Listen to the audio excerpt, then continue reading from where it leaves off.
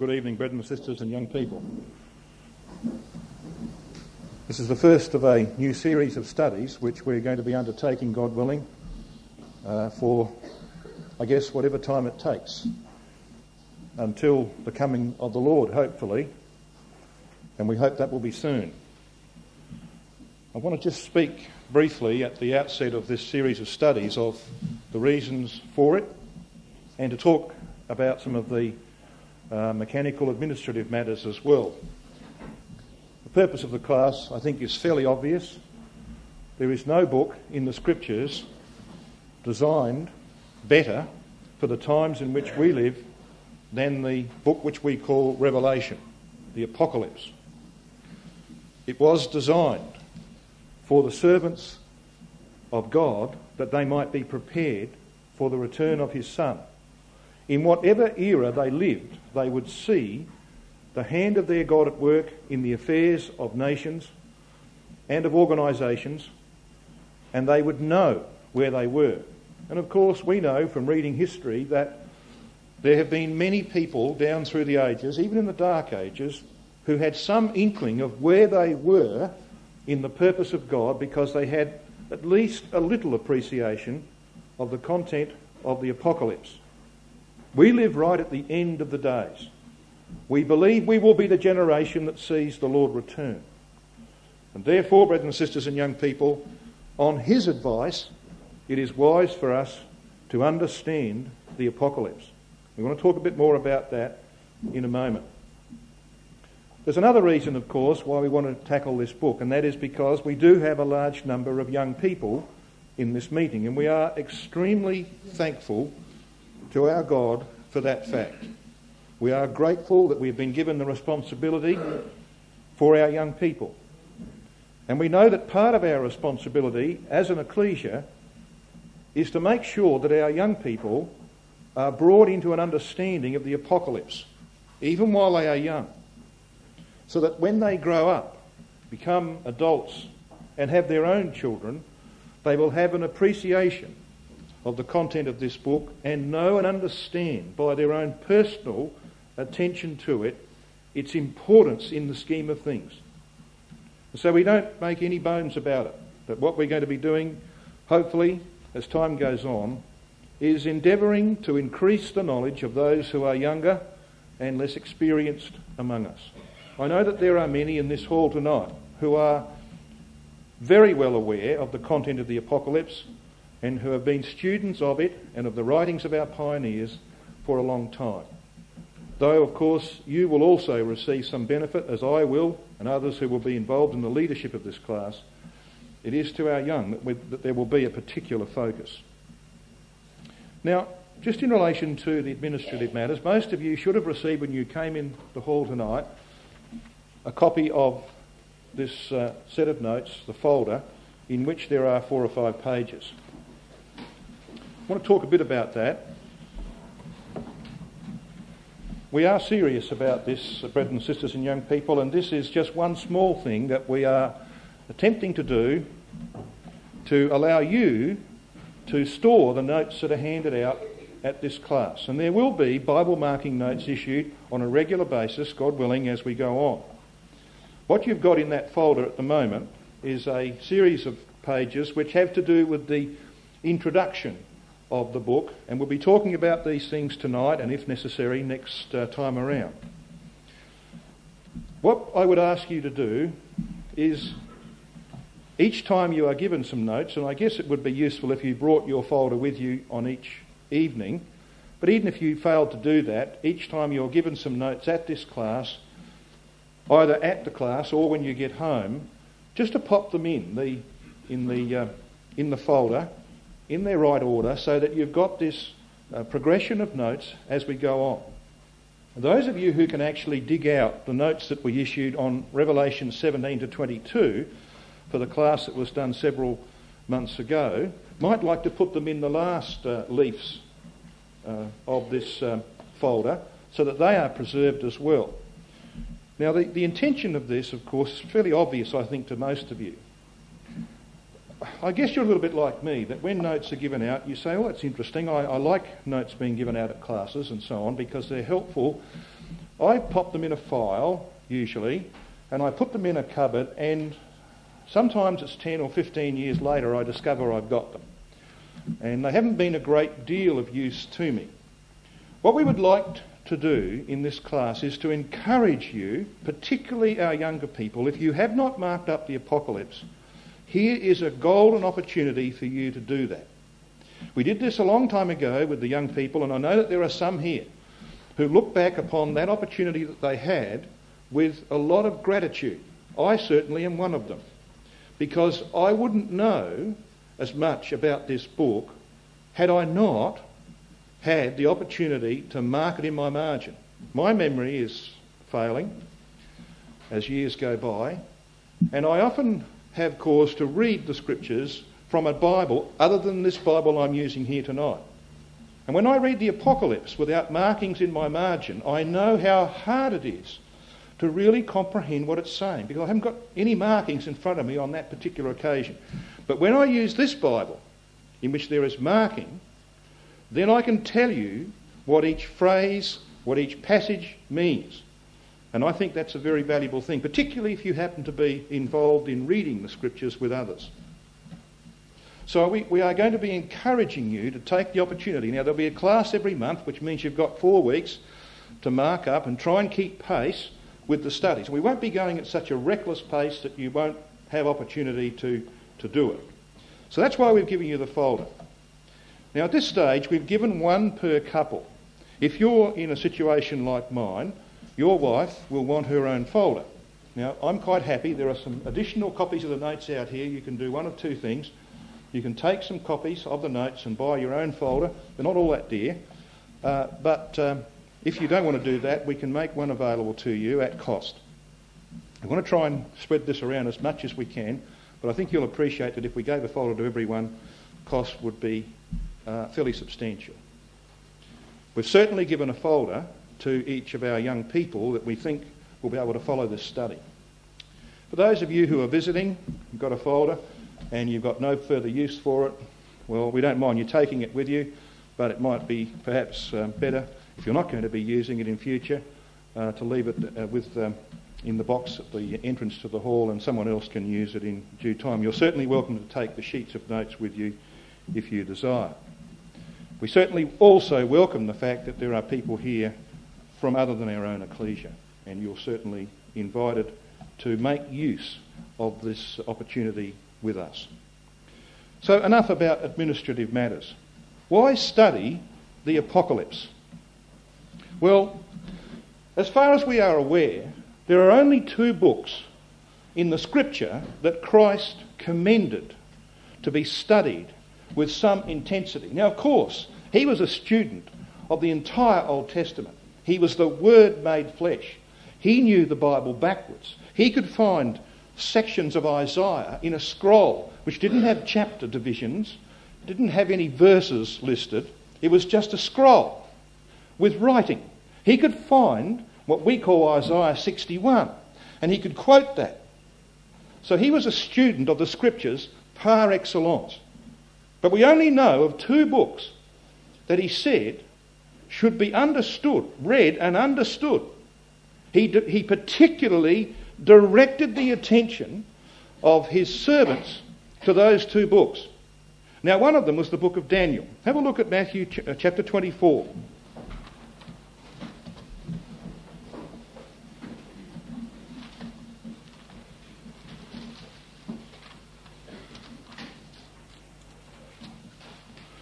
In Matthew 24,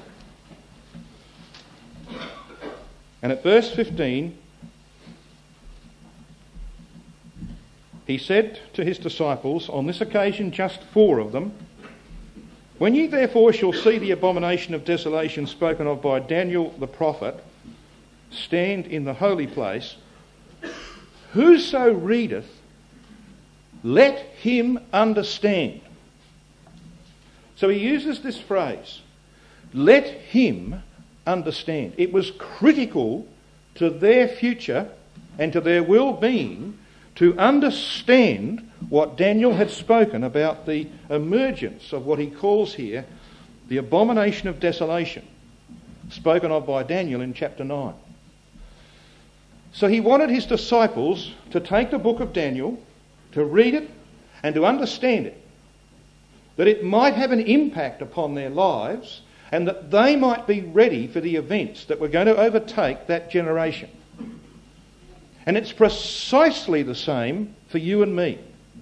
Because the other book that he specifically directs our attention to, that it might be understood, is the Apocalypse itself. So come to Revelation chapter 1.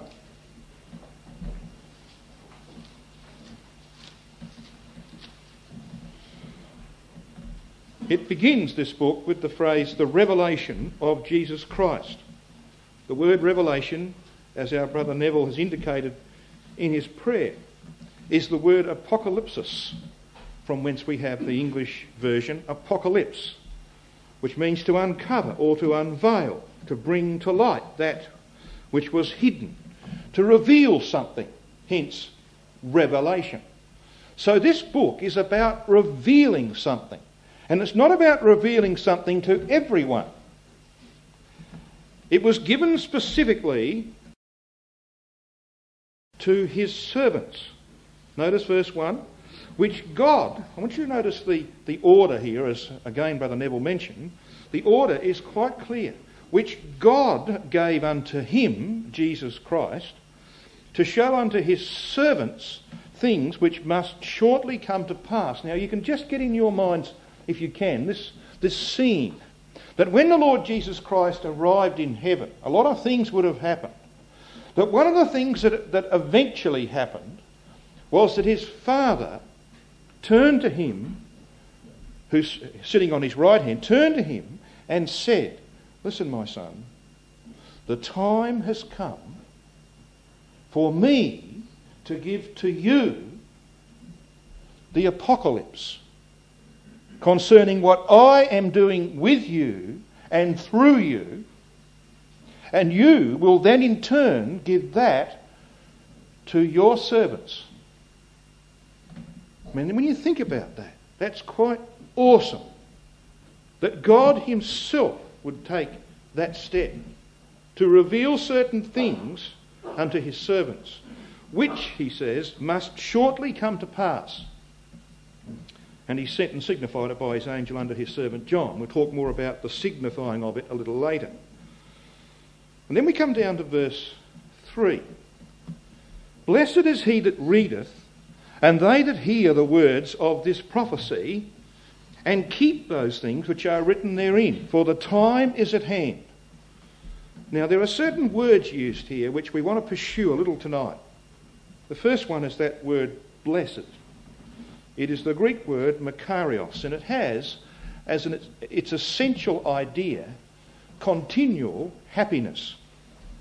In fact, you find that word used in John chapter 13 and verse 17, where Christ says to his disciples, Happy are ye if you do them, that is, my commandments. Happy are you if you do them. And the idea of that word to do there is to do continually. So that perhaps implies that the happiness is also a continual happiness because the actions are continuous. So Makarios has this idea of having a happiness that persists. Blessed is he that readeth. This idea of reading in the Greek, anaginosko, means to know accurately. Increasing knowledge is, of course, a constant necessity in the truth. And to know accurately is very important. He says, And they that hear the word there, of course, obviously has the idea of hearing, but not merely just hearing words. It's actually talking about implementing the words, giving sufficient heed to the words that they become part of your life. And then he says, and keep those things which are written therein. To keep is to watch over and to preserve them, to keep strictly. Brother Thomas translates them, observe narrowly. So then, what he's saying in this passage is very important to us in the introduction of this study because it's telling us a number of things. It's telling us that our Lord Jesus Christ wants us to understand this book. It's also telling us that the book can be understood. It's not a closed book, or should not be a closed book. But it's also telling us that it was to be understood by a certain class of people who are described as his servants. It was not a book designed, in fact, on the contrary, it was a book designed to cover for some and to reveal for others. There would be some who would never understand it because it didn't have the keys to understand it. But there would be others to whom it would be revealed. But it can be understood. Of course, it's, it would be nonsense, wouldn't it? For him to give a book and to say, I want this book to be understood if you couldn't understand it. It would also be nonsense to say, I want you to keep the sayings of this book, which means I want it to affect and impact your life if you couldn't understand what he was saying. So, consequently, it can be understood. We want to encourage, particularly our younger people, that that is a fact. Providing you've got the keys, you can understand this book, even though it does seem difficult when you first start out. And I can testify to that from some 35 years or so ago. So there we've got those two passages, Matthew 24 and Revelation 1, verse 3, in which the Lord Jesus Christ particularly focuses the attention of his servants upon the book of Daniel and on the Apocalypse. Now, why should that be the case? Well, we don't have to go far for an answer.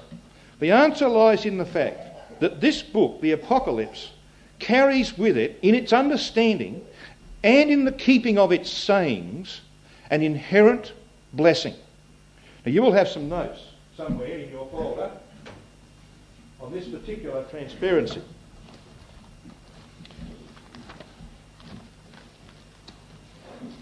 It may need a magnifying glass to read it, but it's there. The blessings of the Apocalypse. Now, this book, the Apocalypse, we are going to find in our studies is a book of sevens. It is full of sevens, as you perhaps are fully aware. There are seven letters to the Ecclesias in chapters 2 and 3. When you get to chapter 6, there are seven seals. When you get to chapters 8 and 9, there are seven trumpets.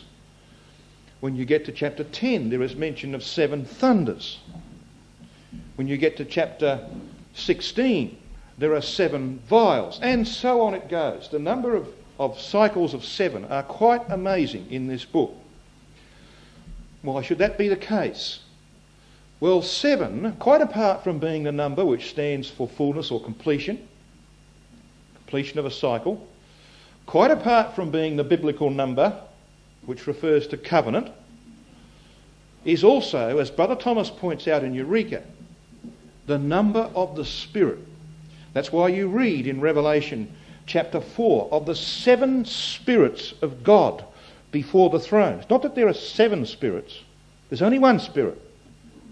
But they're described as seven spirits because that is the number of the Spirit. That's why our Bible is undergirded by the number seven, from Genesis 1, verse 1 to Revelation 22. It's undergirded. Both Hebrew and Greek have the letters of the, of the alphabet have numerical values. And there is a certain structure which undergirds the whole Bible. And the number seven, amongst others, dominates that undergirding. Why should that be so? Because it's the product of the Spirit. So here is a book which has been delivered by the eternal Spirit Himself through the manifestation of Himself, His Son, by the power of the Spirit working on John the Apostle and everywhere you go in this book, it breathes the Spirit. And this is just one case. the blessing to the apocalypse. The number seven, and there are seven of them. Now you can see them listed there. I guess the two that I wanted to highlight were the first one and the last one, or sorry, the sixth one. The last one is very much akin to it. But in Revelation 22, we might just turn to that in Revelation 22 because we've looked at chapter 1, verse 3. In the last chapter of the book, as the Lord delivers his last message, he is keen to emphasize this matter of the blessing. Verse 7 of Revelation 22. He says, Behold, I come quickly. Blessed is he that keepeth the sayings of the prophecy of this book. Now, this word keepeth, we've met before, tereo, it means to watch over, to preserve, keep, to guard from loss. Now, he's not just talking about guarding the, the apocalypse from tampering or from misinterpretation. That's involved. He's actually talking about keeping this book in terms of our behaviour, preserving it in terms of its impact upon our life. And I'll tell you something. It's a simple fact of history that when people make the effort to understand the apocalypse, it invariably affects the way they live their lives. Let me just give you one example from my own experience. Because I'm forced to travel to work by train, rather than just sit there and look out the window, which I find very difficult to do, I read. I don't find reading newspapers very edifying. So I don't read newspapers. I read, when I can, the works of the truth. I have had the privilege of working through Eureka several times. I've picked up other books and read them. But I'll tell you something. I have noticed that when I have been reading through Eureka, because my mind is forced to be at a different level, it has a direct impact upon my life. I've detected that. And when, for whatever reason, I'm not reading through Eureka, I notice the difference. Now, that's something that's happened to me over the last 15 or 20 years. So I understand exactly what the Lord meant. If your mind is in this book, if you are endeavouring to understand it, and to raise the level of your thinking to the spirit level, then you will be impacted by it. It will have an effect upon your life. You will find it perhaps a little easier to deal with the problems of the flesh and of the evils of this world, which are obviously increasing so rapidly that we, are, we must be, we just must be near the end. And it's time, I think, for us to take radical steps to make sure that we defend ourselves against the, the incursions of this evil world. And this is one way of doing it. Turn your mind to the apocalypse. In the, the seventh blessing, in verse 14 of Revelation 22, a similar thing is said. Blessed are they that do his commandments. Now, I know that there are other, inter- there are other translations. For instance, the Diaglott has wash their robes for this phrase, do his commandments. Uh, Rotherham has who are washing their robes. But essentially, it's the same idea, isn't it? Blessed are they that do his commandments, that they may have right to the tree of life. Washing robes is doing the commandments, it's keeping the garment that we were given at baptism clean. So it's essentially the same thing. But the point I want to make out of all that is simply this that this is not and should not be, therefore, an academic study. It's not a question of saying, well, I understand the apocalypse academically. That may be helpful in some respects. But it's not what the Lord wanted us to get out of it. He wanted our lives to be affected by what we read and understood. So that we are shaped and developed and prepared for His return. That's what he wanted. And that's what we're going to endeavour to achieve in this series. And as we go on, brethren and sisters and young people, uh, you'll have to put up with me for the first maybe three classes or so. Brother Klaus will probably do the latter portion of chapter 1. But when we get to the, to the uh, chapters like 2 and 3 and 6 and 8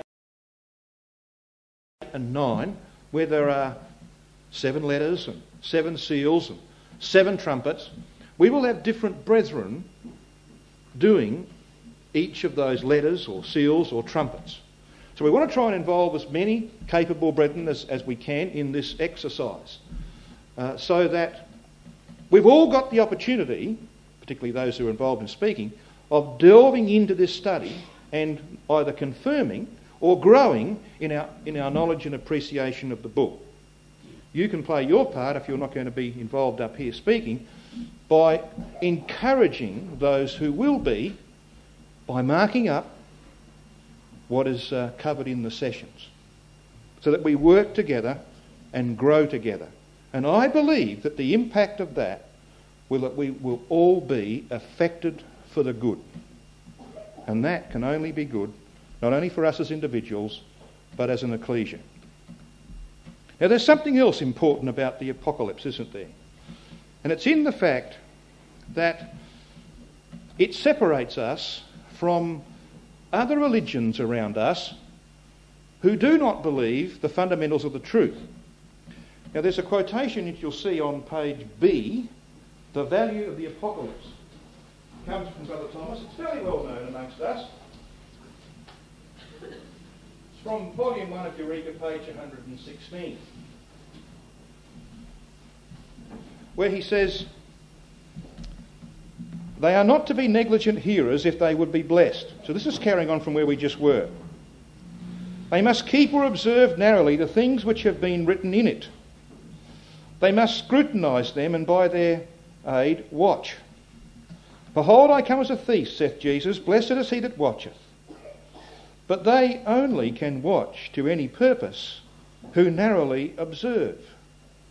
The apocalypse was given to this end that the servants of the deity who are keeping their garments might be able to discern the signs of the times preceding the apocalypse of Christ and the real nature of things extant in their several generations.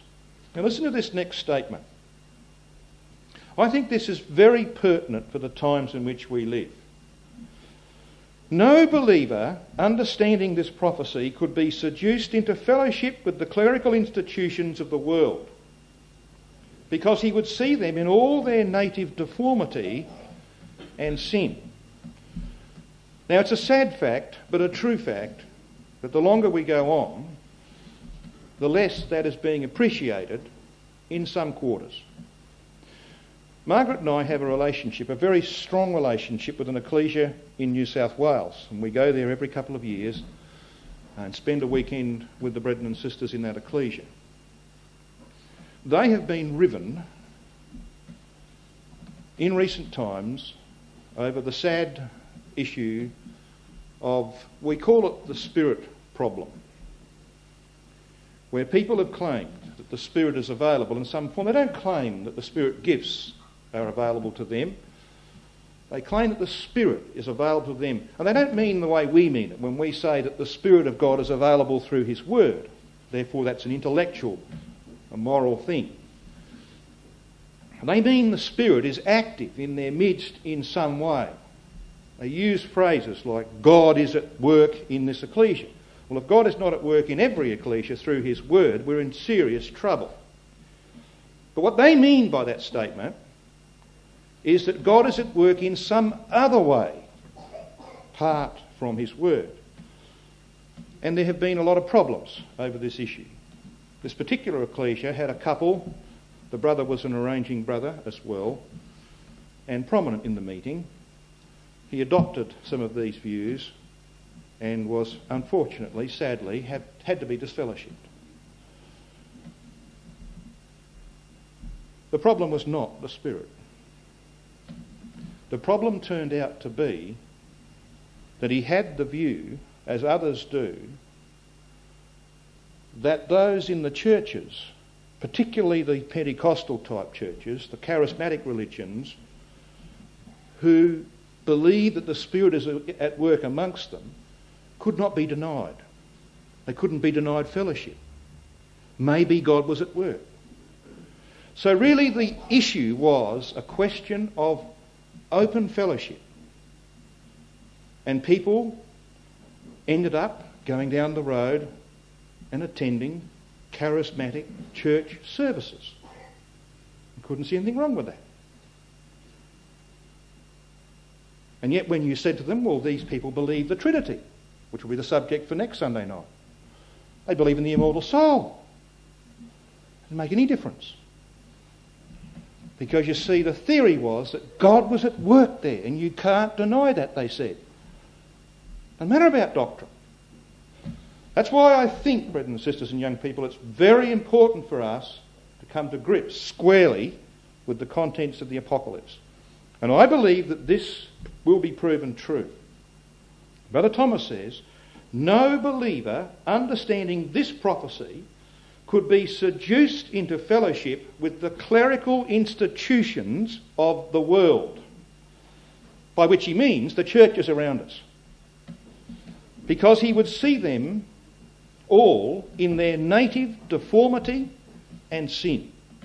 Now, that is an important aspect of our studies together, that we might see clearly where we stand in relation to others who do not understand the scriptures and who do not believe the truth. Now, we read tonight from Mark chapter 4. You might have wondered why we did that. Well, there was a reason for it. Let's come back to Mark chapter 4. A little earlier, I made the comment that the apocalypse was meant to be understood. And I think all of us will be aware that when you come to the seven letters in chapters 2 and 3 of Revelation, every single one of them is concluded with the phrase, He that hath an ear, let him hear what the Spirit saith unto the ecclesias.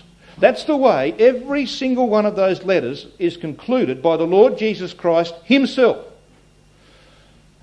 He that hath an ear, let him hear what the Spirit said to the ecclesias. Now, where does he get that saying from?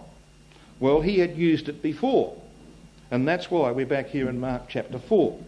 Now, we are conscious that the first eight verses of Mark chapter 4 record the first and perhaps the most important parable in the teachings of the Master the parable of the sower. Fundamental. And yet it was not understood not even by his closest disciples. It had to be explained to them. And he did explain it to them. And he explained it to them because he wanted them to know what it meant. So we read in verse 9, he's just finished talking about the parable of the sower, and in verse 9 he said unto them, He that hath ears to hear, let him hear. So there are the words that are picked up and used in the Apocalypse in Revelation 2 and 3 seven times. What does he mean by this?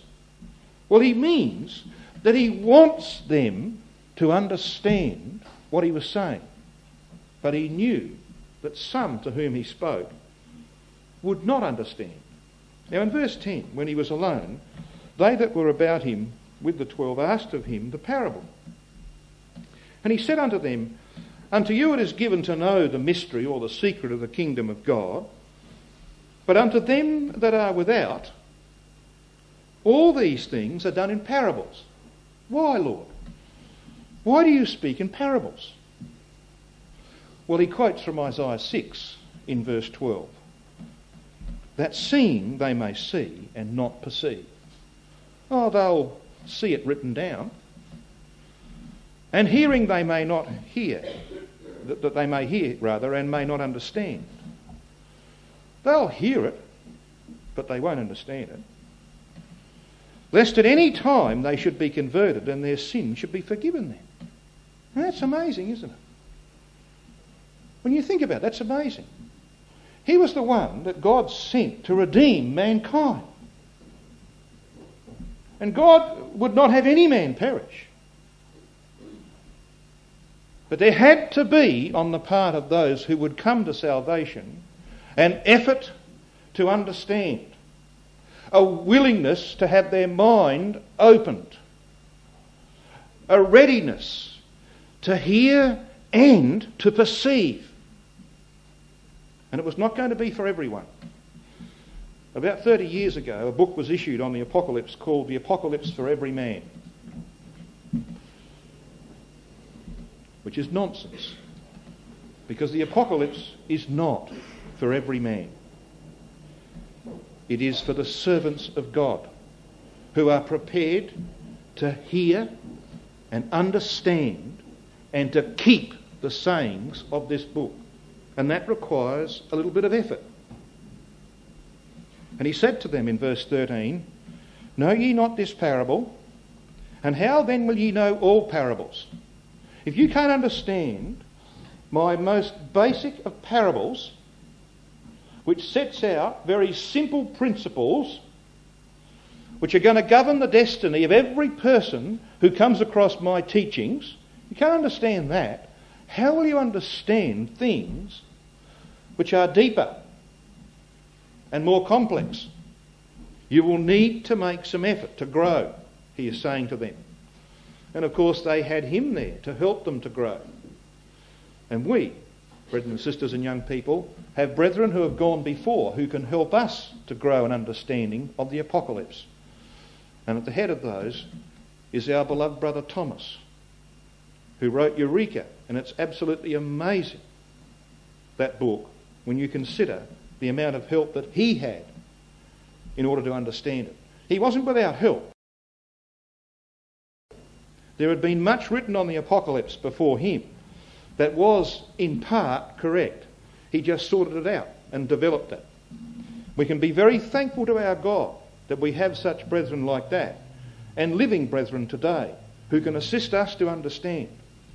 But it does require effort on our part because the apocalypse like these parables, was not for every man. It is to those who are classed the servants of God, who have an ear to hear. Now, what that also implies, doesn't it, is that there can only be one correct interpretation of the apocalypse. If it is to be understood, then you can't have a multitude of interpretations. There is only one correct interpretation.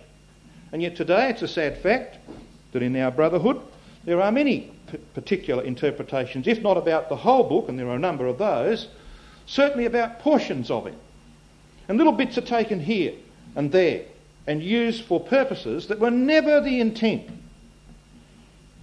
It's very important for us, therefore, to have the framework of this book fixed in our mind, to see where it was going, and to make sure that our interpretation of it fits with that overall framework.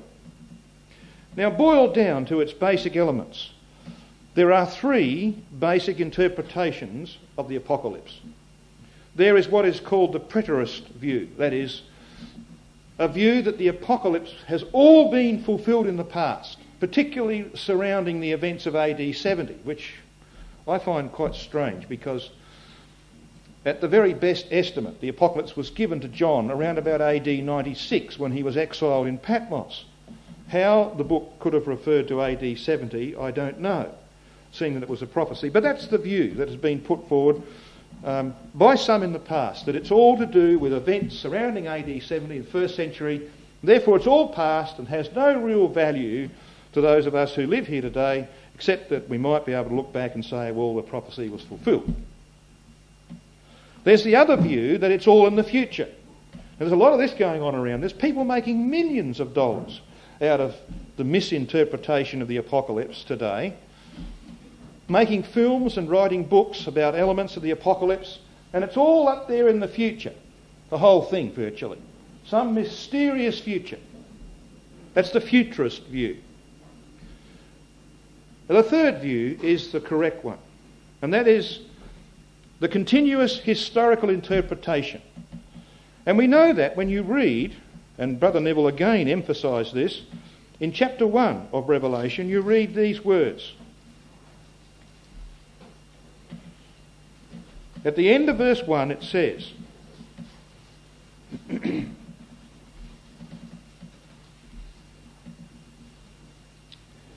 To show unto his servants things which must shortly come to pass.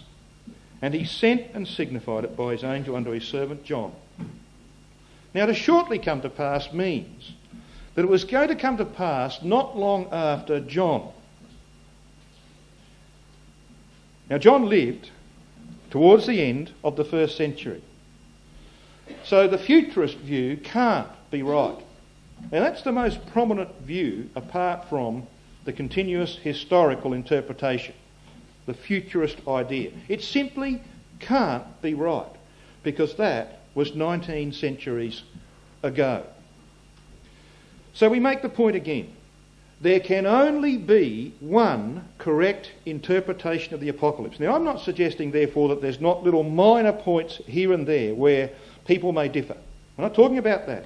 We are talking about the overall interpretation, the framework of the book, and the unfolding of history continuously down from the time of John to our own day and beyond to the establishment of the kingdom of God, and even beyond that, into the time when God will be all and in all.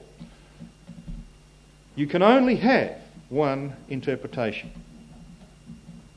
Now, I want to quote some words from Brother Roberts. Now, these words appear or seem to be, when you first when you first look at them, they seem to be a little harsh. But he gave these in a, in a lecture. The book actually is called 13 Lectures on the Apocalypse. And the point he makes, I think, is important for those of us who feel a little bit inadequate and maybe we think, well, I've, you know, I've read bits of this and I don't really know what it's talking about. It gives some encouragement to us, and we've used this with our young people a little bit earlier in the year, so I apologise to them for that fact, but I, I think it's important that we, we just consider these words of Brother Roberts. He says, Only after patient study of the book of God for a long time, the excellence of the apocalypse is appreciated. For a time, the matter of the apocalypse seems wild, austere, high, hard, perhaps inscrutable, something unpractical, something not useful. Such impressions are due to spiritual infancy. Men ought to condemn themselves for such feelings. They ought to be very modest. They ought to assume, even if not able to perceive, that the apocalypse must be wise and useful because an emanation of the divine mind. We must not set ourselves up as the standard of judgment. We are all fools to start with, if not to finish with. The first step in true progress is to know that we are ignorant. There is hope when we realise this. Now, I can think back when I was a teenager and just beginning to emerge into studying the Bible.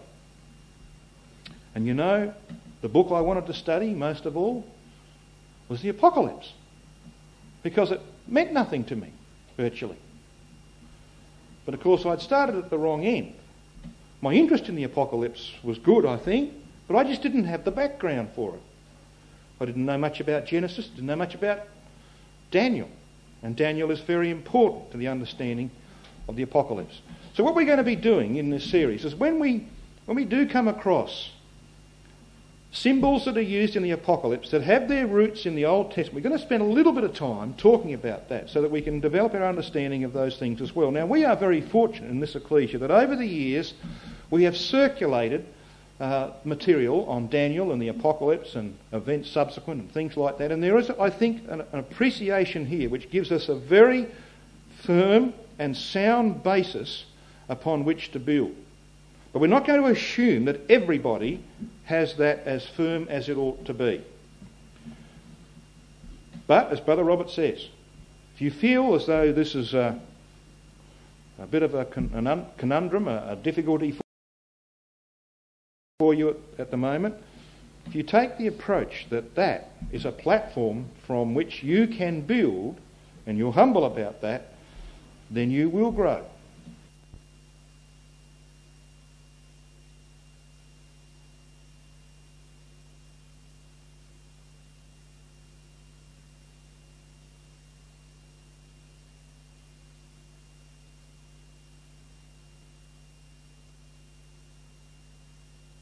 We realise this.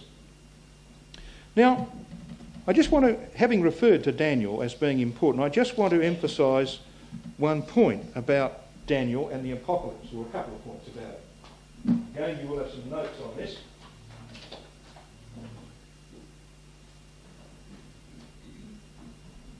You see, there are people who have interpreted the Apocalypse as having relevance to all sorts of things, to Israel and to other things, and will not accept the interpretation that Daniel provides the roots for the apocalypse and that the apocalypse is expanding upon what Daniel has said about the development of the Roman Empire and its systems, in particular its religion, the Roman Catholic system. For whatever reason, they want to avoid that interpretation. Well, we just need to cement the fact that the apocalypse is not really new.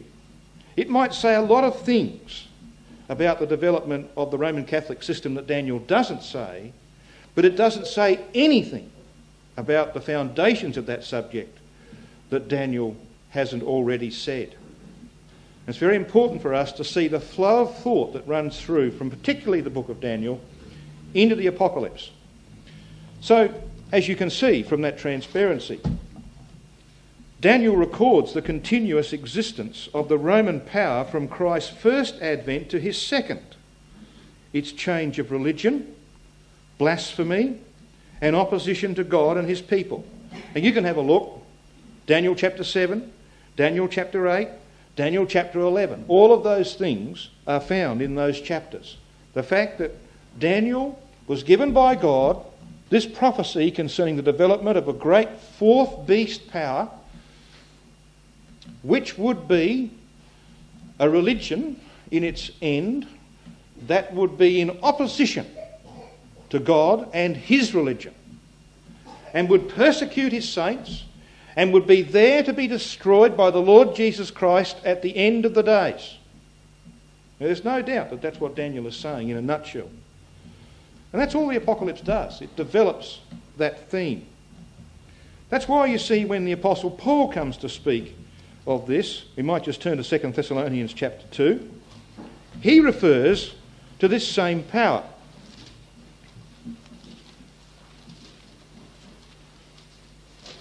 In the 2 Thessalonians chapter 2, he says in verse 3 Let no man deceive you by any means, for that day, that is, the coming of the Lord, shall not come, except there be a falling away first and that man of sin be revealed, the son of perdition or destruction, who opposeth and exalteth himself above all that is called God, all that is worshipped, so that he as God sitteth in the temple of God, showing himself that he is God. So here he's talking about the development of a system which in fact was to be developed out of the true ecclesia, was a religious system, which would so exalt itself in the earth that it would claim to be in God's stead. And the Pope, of course, in due time became, as the Apocalypse describes him, the God of the earth. And sat in the Vatican, which he and his people regarded as the temple of God on earth. Now, the Apostle Paul is talking about the development of this system out of the ecclesia because he says in verse 7 for the mystery of iniquity doth already work. Where was it working? Well, it was working in the brotherhood. Only he who now letteth or restraineth, and he's talking here about the pagan Roman power which resisted the growth of Christianity in its apostate form as well as in its truth form. He that now letteth or restraineth will restrain until he be taken out of the way. And then shall that wicked be revealed, whom the Lord shall consume with the spirit of his mouth and shall destroy with the brightness of his coming. Now, this lines up with Daniel, doesn't it? That a religious system would grow out of that fourth beast power, the Roman power, and it would oppose the truth and would ultimately be destroyed by the Lord Jesus Christ. Would be destroyed with the brightness of his coming perfectly consistent with the teaching of Daniel. So when you come to the Apocalypse, In chapters 2 and 3, Christ warns the Gentile ecclesias of Asia of the existence of certain people who were in their midst in the main. There were Nicolaitans. Now, we'll talk more about them in due time, God willing. There was the synagogue of Satan. There was the Balaamites. And perhaps most ominously of all, there was that woman, Jezebel. And that woman, Jezebel, of course, later on became the harlot system of Rome. It developed out of the ranks of the ecclesia by the corruption of the truth, slowly but surely over a long period of time. And that corruption was allowed to happen. That's why Christ wrote to those ecclesias. He warned them about what was going on in their midst. Apparently, they did nothing about it, they just let it happen. And it did happen over time, and there was an apostasy. So that's consistent too, isn't it, with Daniel? And then when you come to Revelation chapter 17 and other parts of the apocalypse, you have that woman system described. Now, Revelation 17 we've done recently in our study classes, but we'll just have a quick look here at the description of this woman. This Jezebel that was in Thyatira, by Revelation 17, which of course is talking about the, the system as it exists today or will exist tomorrow, and which will oppose Christ, this system is described in verse 3. He says, so he carried me away in the spirit into the wilderness, and I saw a woman sit upon a scarlet coloured beast, full of names of blasphemy, having seven heads and ten horns. And the woman was arrayed in purple and scarlet colour, and decked with colours, with gold and precious stones and pearls, having a golden cup in her hand, full of abominations and filthiness of her fornication. And upon her forehead was a name written, and here's the clue Mystery Babylon the Great, the mother of harlots and abominations of the earth. And this woman was drunk with the blood of the saints and of the witnesses of Jesus. So it's the same system that Paul warned about. It's the system that Daniel warned about. Now, why people insist on finding some other focus for this prophecy, I don't understand. But you will read books where it talks about this woman being Israel and all that sort of stuff. Well, it's quite clear that there is a pattern here which starts back, if not in Daniel, it certainly starts in the, in the Old Testament, maybe, of course, earlier than Daniel, and comes right through to the Apocalypse. Now, that's, I didn't want to get into too much complication there, but that's a, hopefully a simple summary of the way in which Daniel and the Apocalypse flow together. Now, finally, before I finish tonight, I want to direct your attention, if I can, to the second uh, leaf in this folder. We'll come to the chart on the kingdom of men next time, God willing, but the second leaf in the folder is about the breaking up chapter divisions of the apocalypse. It's entitled The Apocalypse Epitomised, the unveiling of the Lord Jesus Christ. Now, what this does is obvious, of course, is it goes through each chapter, each section of the book, breaks it up into its subject material.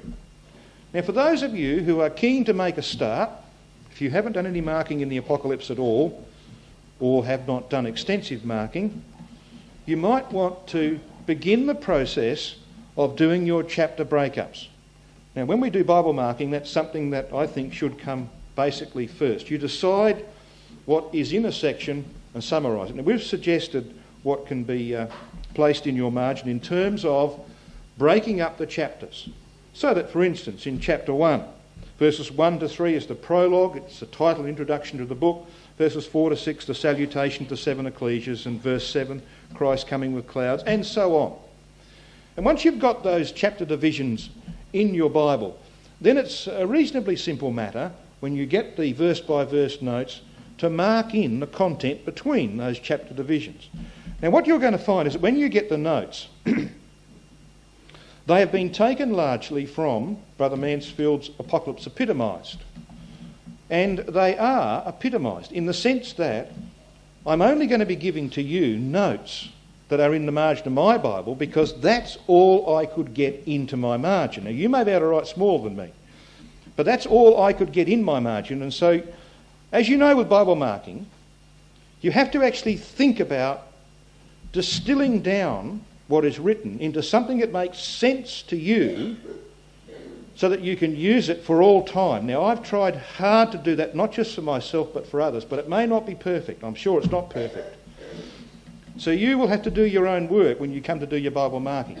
But at the very least, young people in particular, at the very least, if you do your chapter divisions, you will have a lot better idea about this book once you've completed that process than when you began. So that's our first session on the unveiling of the Lord Jesus Christ, the understanding of the apocalypse. Next time, God willing, we'll talk about the structure of the book and we'll look at the, uh, the chart on the kingdom of men and hopefully make our way into chapter 1.